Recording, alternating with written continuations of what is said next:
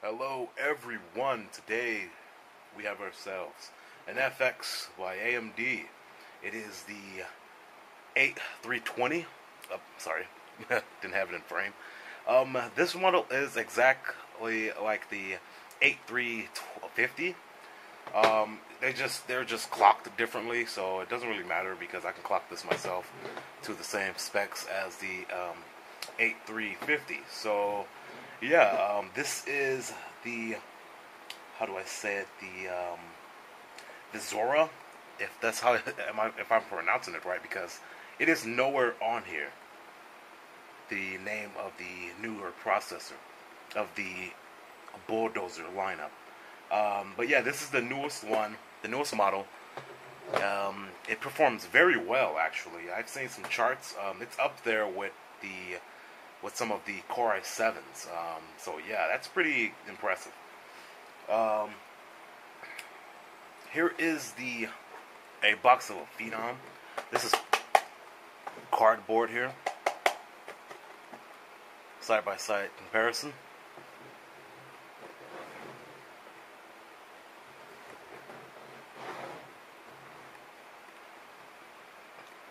Yep. So yeah, this is old well, not that old because it's still pretty freaking good. Um, they run on the same type of chips, so yeah. Uh, right here is the little window where you can see the. Not sure if you can see that. There you go. Where you can see the chip itself, the CPU. So um, I'm going to take this off. It's nothing special. Right here we have some instructions in all kinds of different languages. I'm assuming. Yep. Gonna throw that over there. Okay. It's stuck on something. Alright, there we go. Oh wow. That's interesting. Um, I'm going to show you what I'm talking about in a second. Um, I did not expect that when I took that CPU out. But uh, let's try and get this heatsink out of here. Ah, get out of here!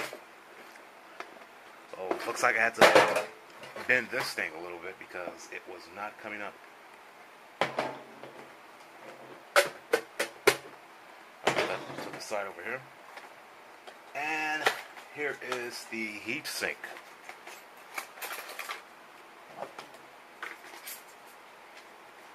It's almost an exact copy of the older generation of heat sinks for the Phenom. As you can see here, hold on, let me grab the Phenom heatsink because I have it right over in this direction. Again, it's almost an exact copy of heatsink. But um with this one, I took off the shroud, the plastic shroud, so I can remove the fan. Um, that is somewhere over here. I don't know where I put it, but I have it. Uh, I didn't expect them to have such a basic heatsink for an 8-core processor. Well, I don't know how hot it's going to get, so it's probably more optimized than previous generations as far as temps go. So we shall see in a bit. Now, what I was talking about, um, which really made me confused, is that they don't have a padding down here like the other CPUs, like the Phenom. They usually come in plastic, but they have like the the um, pins inside of a padding. So yeah, um, good thing I didn't grab this thing out of there like like a madman because I probably could have potentially bent one of the pins. But as I see here, um, none of the pins are bent. Here's the CPU itself, the backside, little FX sticker. There we go. Sorry, I'm at an angle here, so it's kind of hard for me to get the these things in frame correctly. So yeah, that's the unboxing of the FX CPU, the three, I mean the eight, 320.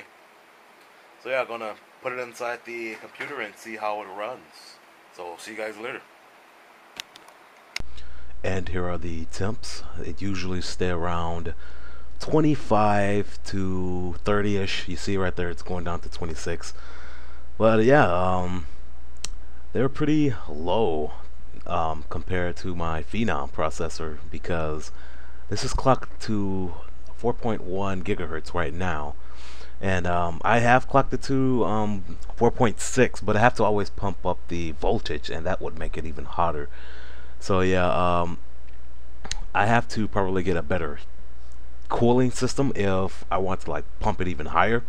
But yeah it gets really hot when it's really high up there in the um, hertz so yeah um, here are the temps and there you go. It's running eight logical cores and four physical cores and everything's nice smooth and buttery. Oh here's my Windows um,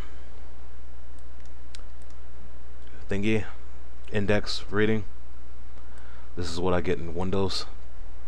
Oops I didn't mean to do that but yeah so far it's great.